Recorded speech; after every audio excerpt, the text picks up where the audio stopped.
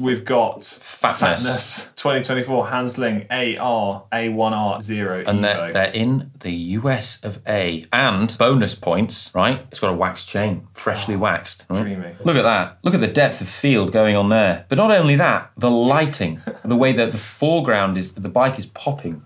It is. You know, like look at look at how bright it is. How it stands out. I'm going to say that that is super nice. Super nice.